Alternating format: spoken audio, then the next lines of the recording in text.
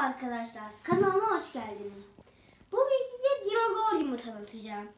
Dinozoryum belki dünyanın en kap- kapsamlı dinozor kitabıdır.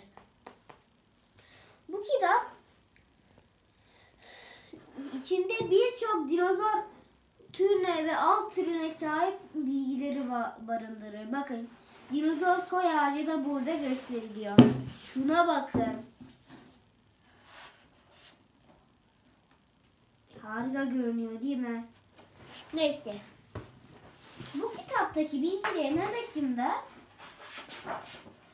Megazoik döneminde Pangea adlı devasa bir kıtanın nasıl Afrika, Amerika, Güney Amerika, Antarktika, Avustralya gibi kıtalara ve büyük adalara ev, parça, gitmek için parçalandığını gösteren bir diyalog var.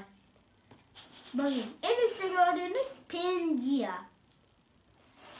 Dünyanın ortasına bir ok gibi yardığını söyleyebiliriz. Sonra Pangea, Laurasya ve Gondwana adında iki, iki süper kıtaya ayrılıyor. Ve o da gördüğünüz Avustralya, Antarktika gibi yerlere ayrılıyor.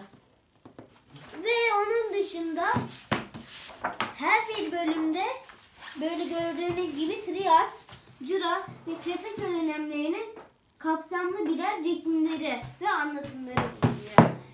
Eğer kaleminiz varsa isterseniz önemli önemli yerlerin altını çizebilirsiniz. Neyse. Şimdi Sauropod ailesine bakalım. Burada kitaptaki dört sauropod türünün, büyük sauropod türünün resimleri var. Şu arkadaşın sadece iskeleti gözüküyor çünkü bu arkadaş hakkında pek bir bilgi yok. Neyse. Ancak diğer birçok sayfadaki resimler tam. Mesela şu gibi. Şura gibi. Şura gibi. Veya şu gibi. İşte dinozoryumda tamamen dinozorları anlatıyor. İşte bugünkü videomuz bu kadar. Bir sonraki videoya kadar özenle kalın, sağlıklı kalın. Kanalımıza abone olmayı unutmayın ve dinozoryumu almayı da unutmayın. Harika bir kitap çünkü. Görüşürüz.